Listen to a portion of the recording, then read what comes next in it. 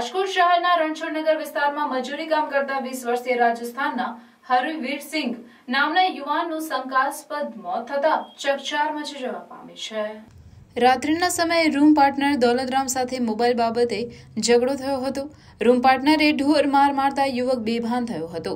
યુવકને civil hospital સારવાર માટે ખસેડતા ફરજ પરના તબીબે મૃત જાહેર કર્યો હતો.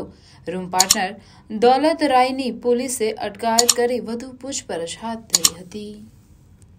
विवेक तोमर विवेक तोमर क्या पूरा हादसा हुआ था सर ये खाना खाने के दौरान मोबाइल को लेकर हाथापाई हो गई थी।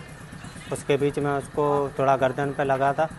उस वजह से वो लड़का गिर गया था मेरा भाई अरवीर सिंह।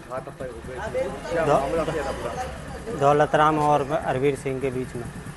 हम लोग बचा हम लोग बचाने के लिए गए तब तक वो लड़का गिर चुका था ज़मीन पे। क्या मोबाइल क्या वजह क्या बनी थी वजह कुछ नहीं थी मोबाइल था उसका दौलत राम का। थोड़ा मज़ाक मज़ाक मस्ती के लिए उसने एक दूसरे एक जगह से दूसरी जगह रख दिया था। और बाकी कोई ऐसा मैटर नहीं। रखा था हरवीर सिंह। ने दौलत राम ने क्या किया था? दौलत राम ने उसको गले से पकड़ा। उसके बाद में मारा मारी थोड़ी बहुत हुई है हम लोगों ने बचाया फिर उस, वो वहाँ पे उसकी फिर सांस रुक गई थी।